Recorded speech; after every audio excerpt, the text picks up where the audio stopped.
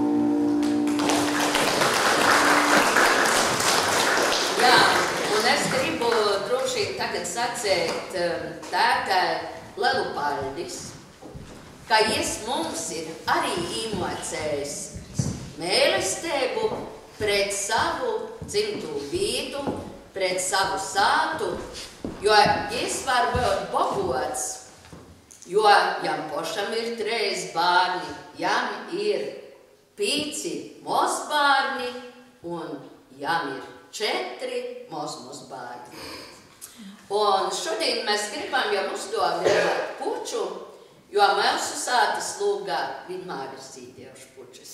Un lai jūs zīt ilgi, ilgi un priecāja cilvēks.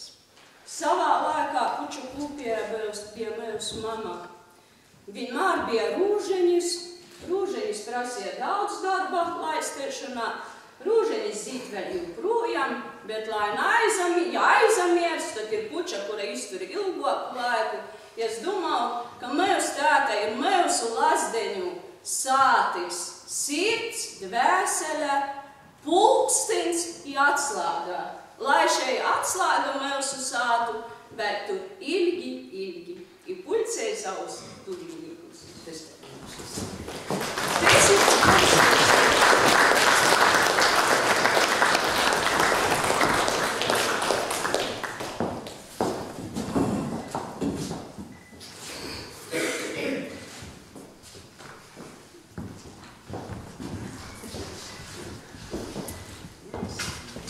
Um, so.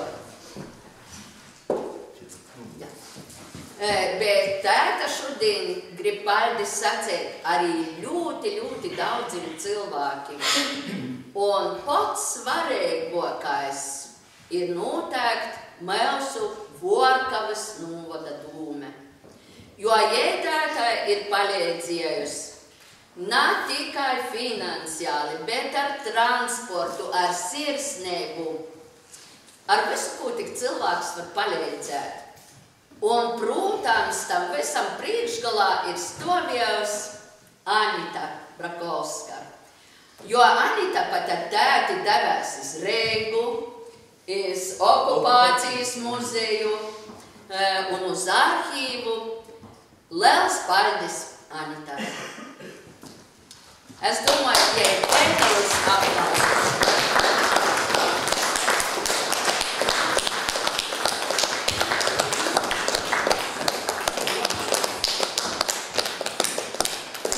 Arī atmiņā par tiem, kur Pordaugavā skambīja ielā bijušajā radiotehnikas ir Nacionālā arhīva lasītama. Paldies. Pēdējā to ar Jā, tiešām. arhīvu pieteikšanu. Skatās, ka nezinu. Jauc, Jā, un es domāju, ka mēs dosim arī vārdu Anitai, jo es domāju, tēta var tikai prīcoties, ka mums ir tāda novada dūme. Labdien, cienējami svētku dalībnieki! Labdien, augstī gūdotais grāmatas autors!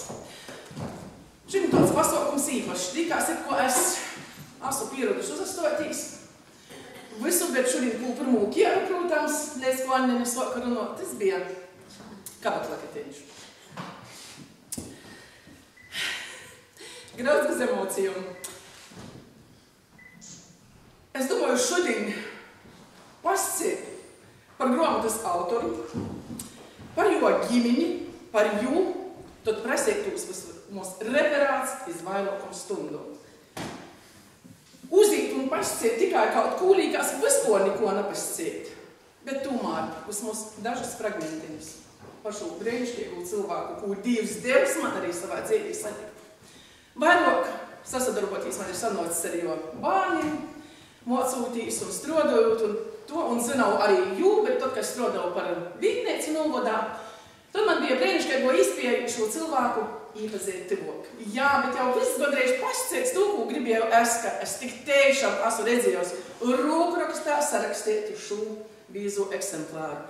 Ar kādu sirsnību tam visam ir pīgojis, ar kādu. Protams, tas pats bija, kā manis īdeve rūkos eksemplāru šo ar rūkumu sarakstītam. Es atveru pirmo lapu un, protams, kas atlika ko tikai ķertīs pie kabatlakateņiem. Kā šis darbs ir vērtīts ļoti mīļajai sieviņai.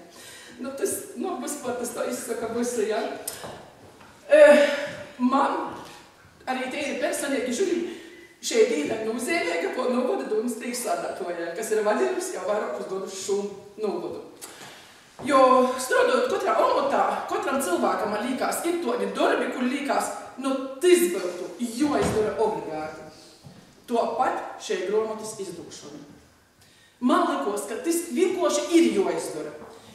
Un šodien godīgi atzīstos, ka es nebiju tas iniciators, jo es druscēt nosabēdos par finansēm.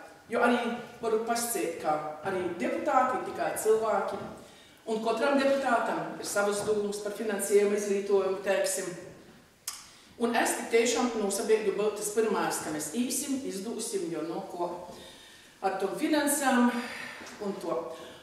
Es atceros to brēniškaigu dienu, kad man pīzvana Jumavas e, priekšnieks un paziņoja. Jūs zinat, priekšsādāto, ir ideja izdūt gromatu.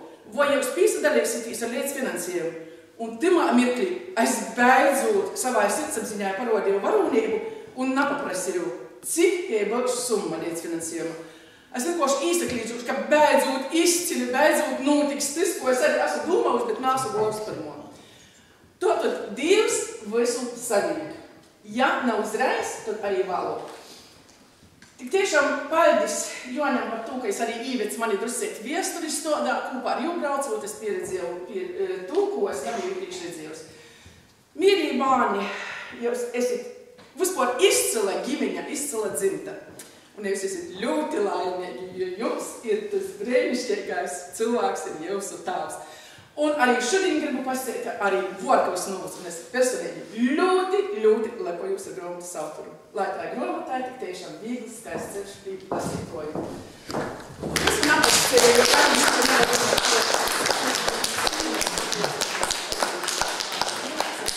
Ļoti priecīga, ka mēs esam to piedzīvojuši. Un tā grāmata. Jā.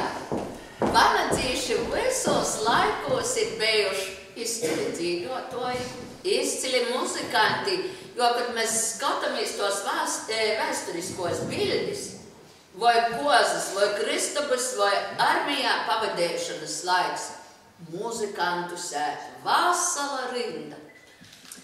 Un šodien jums ir iespēja dzirdēt mūsu vaivodu jūra, um, sakomponētu un Rudolfa Blaumaņa uzrakstītu apkal manu pumeliņu.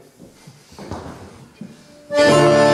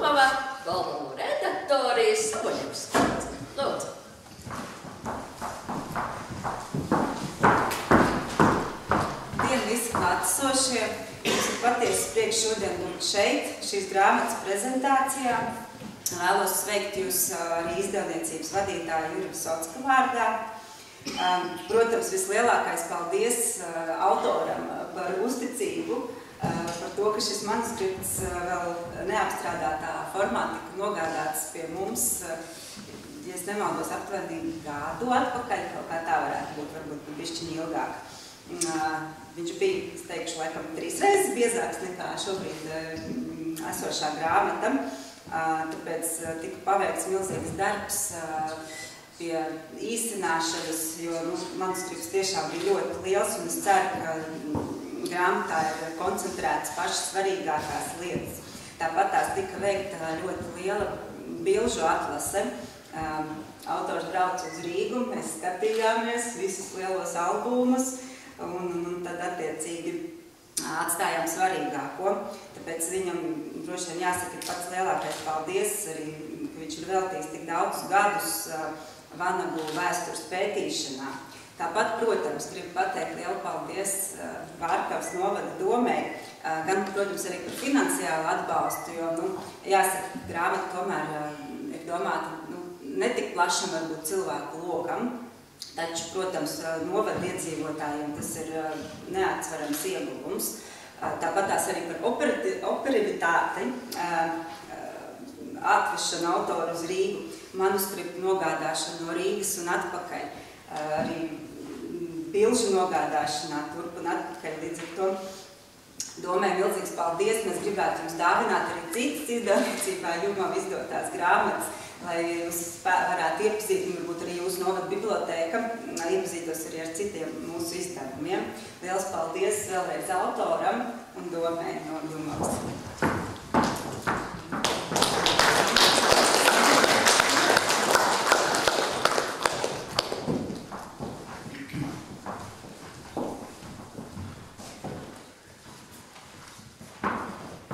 Paldies par sadarbību.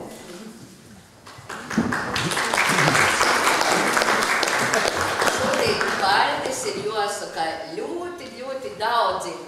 Ir tikai viens vārds pārdes, bet cilvēku ir bezgala daudz. Un man šķiet, ka gandrīz visi vanadzīši ir ierakstīti vanagu vēstures lapusēs. Jo cits būs tautsaimniecības nodaļā, cits būs kultūrā, cits būs izglītībā. Nu, vismaz izglītībā ir lielāko daļa nonākuši, jo tur ir apkopoti visi absolventi. Tātad jūs esat arī ierakstījuši savu vārdu manu vēstures lapusēs.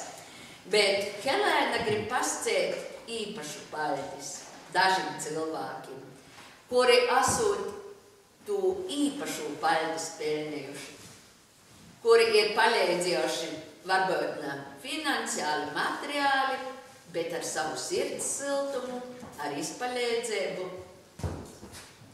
To autors jau savu autogrāfu ir atstājis grāmatā. Ir milzīgs paļdis, ir jāsaka, Ite ir doma, nav to, ka, nu, Gorkabas puses jau vanadzīcis nav, bet, jo broļs Vonoguns ilgstūši ir strādājis arī par baznīcu kungu, bet mūsu tēta ir, nu, Gorkabas prāvesta saņems ļoti daudzas gromotis, izpieties. Es domāju, ka tur, ja runa ir tikai par Vonogu vēstures lapas pusēm, tur, tur ir iekļaut arī Gorkabas puses. Gan baznīca, gan izglītība, gan arī viss pārējais. Dēļ tam lielā cīņā ir pateicība, izsaka paldies prāvestam Onufrijam Pujātam. E, grāmatu, es domāju, Anita nu, nogodos. Jā.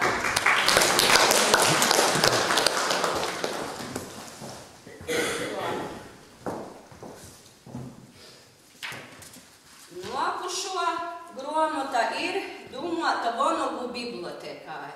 Un bibliotekas vadētoja dūtajā breidī ir Jāņina Pranauska. Es domāju, ka tev Janīt būs arī personīga gromota, bet šitā ir dokā biblioteka. Bet paldies arī liels tev, jo tu tajā laikā biji skolas direktore, kur ir ļoti daudz jām palīdzēja.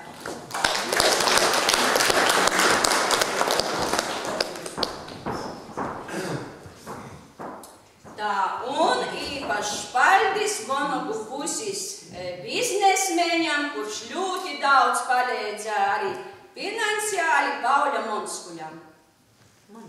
Monika.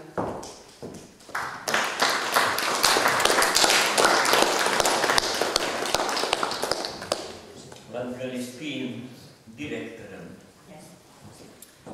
Tā, vēl jāsaka paldies, kurā ļoti daudz ir izpalīdzējusi visos vītos ir e, Janina Arņa. Paldies, lai es kaut ko uzmanīgs. Janina. Reku,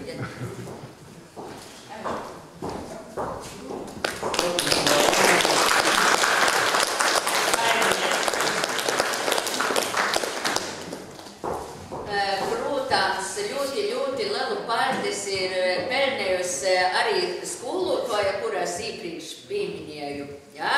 Eh, kura šo manuskriptu eh, nu rūkraksta, nu tētis sarežģēto rūkraksta, jo jau vienkārši rūkraksts. Kaligrāfisks tāds. Skolotāja Česle porakstīja visu datorrakstā. Ja šodien nav ar mums, jo ja, Ulbinska četri. jā, jo ja jāatceros Vācijā, mēs varam vienkārši aplaudēt. Ja arī šodien tika paldies pascēts. Un paldies arī pasciets tos dāvanu nodevu, lai nodot Zinātņu akadēmijas prezidentam, kas īrūsina lai tie gromata topt. Ko reizes, ko reiz bija. Tie mums un arī manuskriptu atskatījām un tā arī īrūsina. Un, jo, nesam malduks arī Jenisēvas kundze. Es, kura visu laiku, nu, pēc mūna zvana, nokopātu kaut ko ar postu pīselta. Nu, es nezinu, vai bez, bez, Paldies. bez paraksta bez grāmata.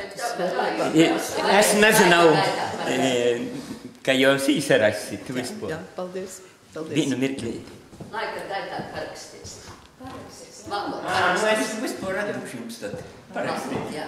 Uh, un es vēlreiz gribu pasakāt par jūsu sirsnību, ka jūs tēti uzņēmat savā sātā, ka jām uzticējat savas arhīva fotogrāfijas, un, ko saka, du dīveņi otram, du, nu, otra mēļi lūgt, un tagad mēs visi vienosimies dzīsmā, jo, redziet, ir bijis daudz devieju, bet tomēr sagaidiet un gromatas, izdošanas laiku. Jau daudzi vairs nav ar mums, bet es domāju, ka jūs vārdi tur pasarodēs grāmatā, un mums uzplauks tādas siltas atmiņas par tiem laikiem.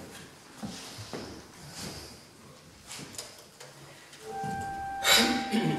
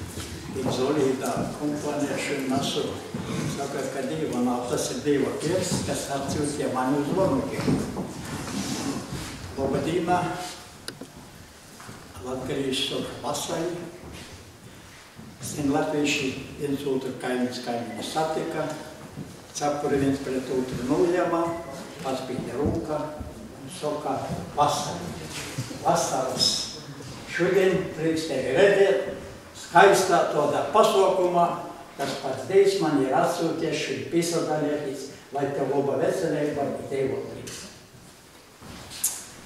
Dārgie vamadzīši, te nav kaut kāda nejaušība, bet tiešām kaut kāda sagadīšanās daudzus gadus atpakaļ. Es vienmēr godā divas reizes braucu uz Malagiem uz kapsātu, jo Onskurs prīsteris kolupā nosrodās septiņi gadi, un man bija tevs draugs, un tāpēc es vienreiz atbraucu dažus daudzus gadus atpakaļ, nolieku uz Dīdus prāvastam, un satieku šo cilvēku, es tā paskatījos no malas, ka kaut kas ir līdzīgs man, paskatījos, kā arī godi to, ko līdzīgi man, Un tā nulēmu pienāk Latvijā un studēju priekšā jau kāds ir izteso kāsu kolupīts. Un esmu uzrakstījis to gormatu par kolup, kolupīšanu, un es tev pasniedzīju, ja? Bet tu man atbildēji, nu brauksim pie manis, es parodēšu tev savu gromatu, ja? Bet tad tie gromati te bija, ko es radu manuskriptā, ja, bija vēl. Tas ir cik gadu atpakaļ bija, ja? Es to forlapoju ar to gromatu un un saprotu, ka tur, bet tur, ko tu pasēji, to es neaizmiršu, sacīju, šai gromata būs tikai viena eksemplārā. jā, vienā eksemplārā, jā, un tu vēl ko pasēji, atceros, ko šodien, kad tu sacīji to, o, o, uzsveri, o, ka man būtu augstāko izglītību. Es vēl na to pierakstītu. Nu, redzi, tev nav augstāko izglītību.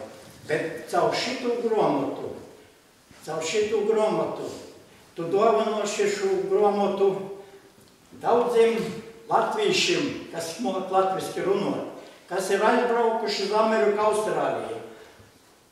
Vācija, Anglija, tie gromata ceļos visur, kur latviski runāja, kur latviešu valoda vēl nav izdudusi. Jo es paredzu, paredzu, ka skaisto zeme Latvijā ja nekur nav pazusis, bet latviešu tauta Kreismovu movam, a tava gromata leidzi ceļos ar savu tautīšanu. Ja? Dorgais autor, prieks, tiešām prieks, un es nolīcu galvu visu jūsu priekškā, ka es varu šim piesadaļēties tādā pasaukumā. Tik skaistā, tik saviļņojušā, tik ģimeniskā, tik latgaliskā. Dorgais grāmatas autoru. Lai tev laba veselība, un lai vienmēr tevi pavada Dieva svētība, lai vienmēr Dievs ir kopā ar tevi. Un daudz, daudz vēl tev gaišu, boltu, saulēnu dienu, un ko cīnis apliecināms, es dāvināju šo dzīves.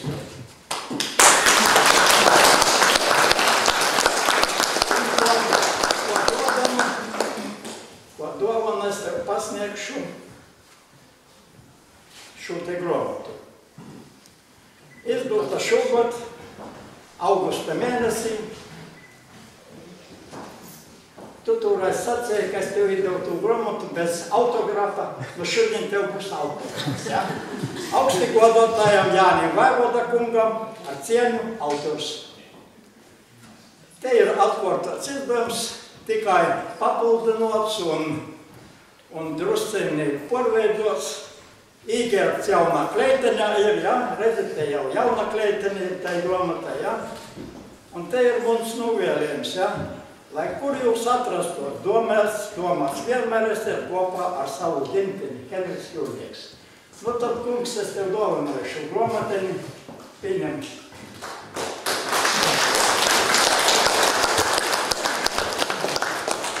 Jā, kas var būt skaistoks, ka sasatiek, varētu sacīt kaimiņi. E, Kaimiņi, kuri ir rūpējās par seču nopūtni. Ko Kārlis Ulmans ir sacējis, mēs nevaram dzīvot tikai no tagadnis vai sajausmas par nopūtni.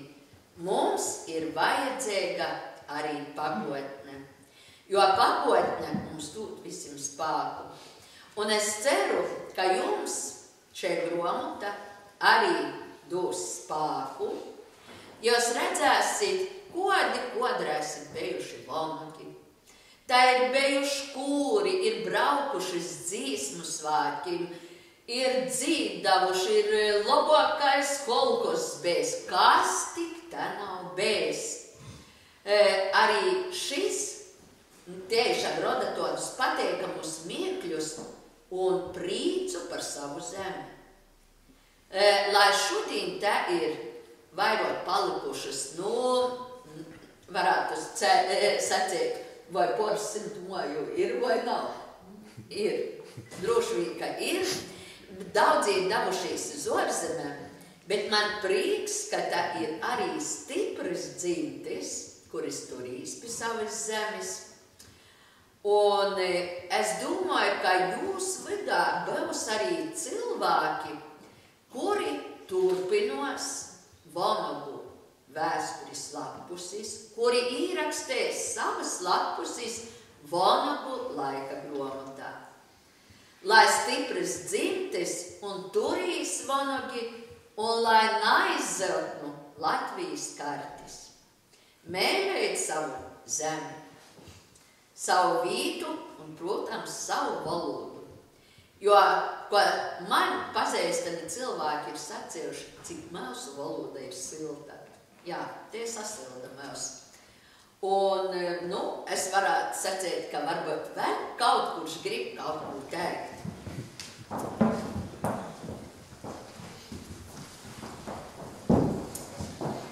Cienījamais autors, labdien, laimīgi, vanadzīši, par ko laimīgi, par to, ka jūs tagad visiem varēsiet lapnai paziņot, ka jums ir sava gromata.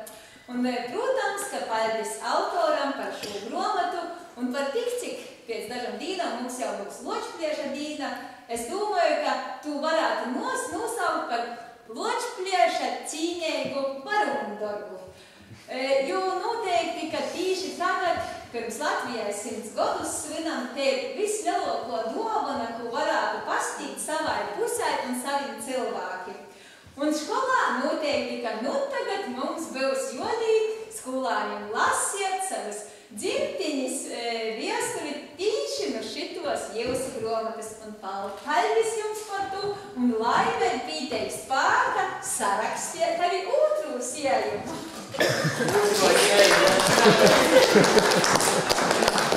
Man, e,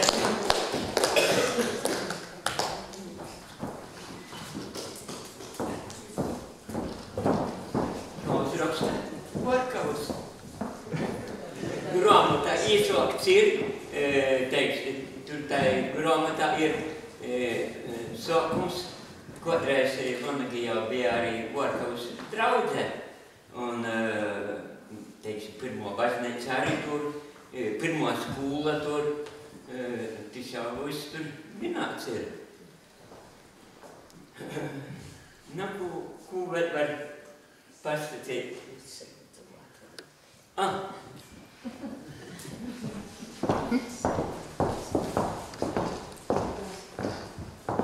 Sveic Cīņas aplīdzinājumu, mums arī pēdējā galvenās bija Lutīs. Un es gribu sacīt, tāpēc vienmēr es apvienojos jūsu fenomenālo atmiņu.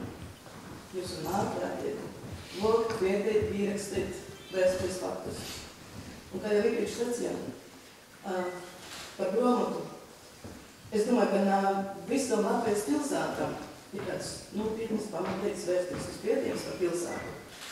Nu, es nedomāju par ceļvežiem vai, vai, vai bukletiem, bet Vonogi, Vonogi var būt lepni, jums ir sava gromata, un Vonogi var būt lepni ar to, ka jums ir tāds brīnišķīgs cilvēks kā Vaivota kungs.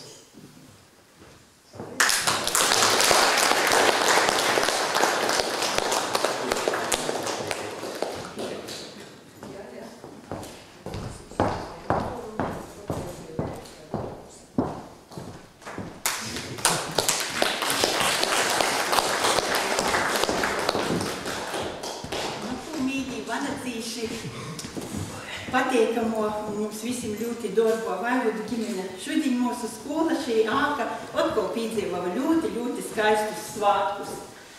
Bieži vien šajā zālē skanējusi gan jūra balss, gan arī porēju dažādu mākslinieku, bet visvairāk mēs vienmēr esam bijuši savienoti par vairodu ģimenes uzstāšanos. Un, protams, prieks par to, ka šajos gados kodus ir sasniedzis pats, pats Jons.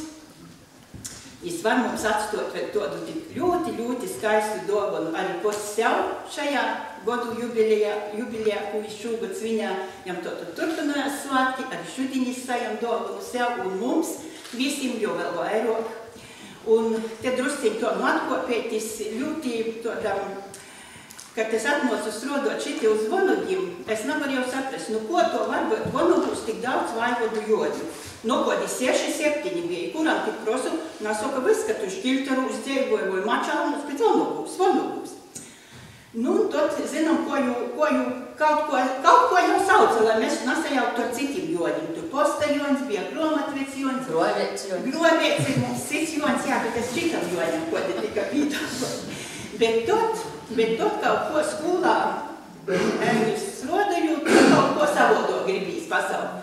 Un ļoti, ļoti daudzus gadus es saucu Helēnas tēte, Annas tēte, Jūra tēte.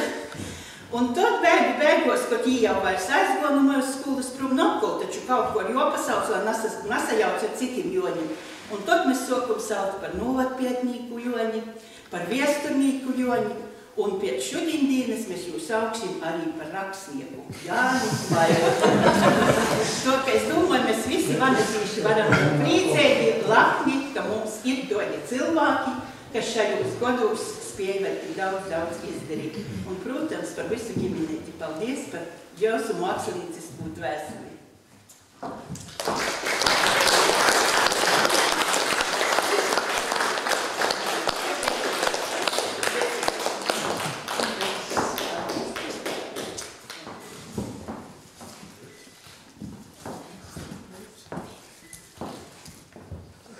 Jurim arī. Jā, to mūsu kūdi, it ko jau pirmo daļu, ir izsmāluši.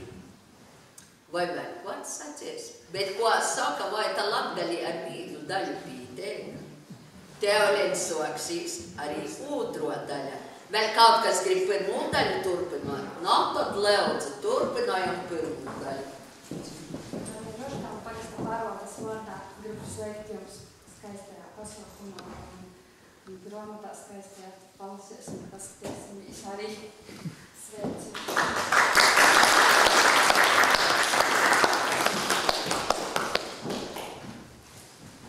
No, laikā tur jau gribēs, jo draudzīnisku personīgi īčukstēt. 今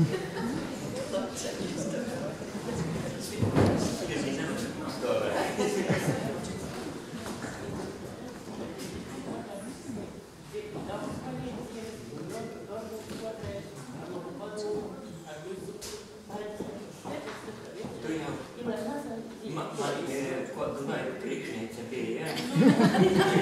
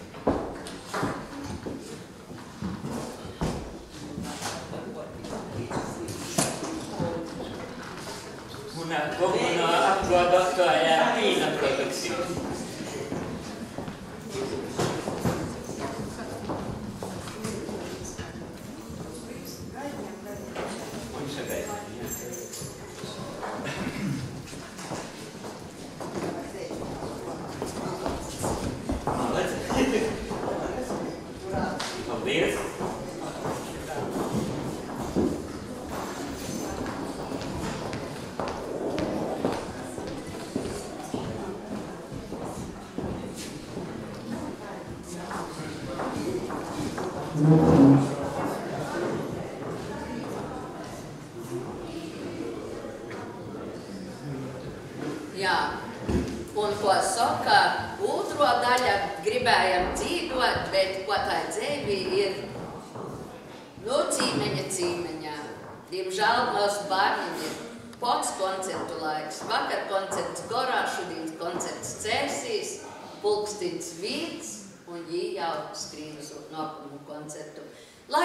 skaista otro daļa, paldies, ka jau esat kopā ar tēti, un šodien jau tās laimīgs.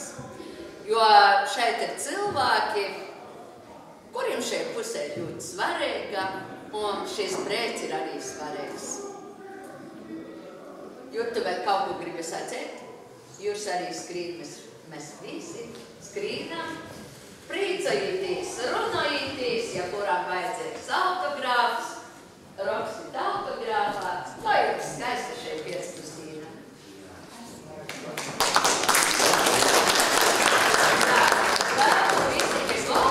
ir īpildētas, krūzētis ar kafiju, arī varbūt ar ko balsāma pilīni, tad jau socās tos skaistokos sarunas. To, ka droši cīnojieties, ceļieties, paldies visiem, kuri kloja goldu. Paldies jums 15.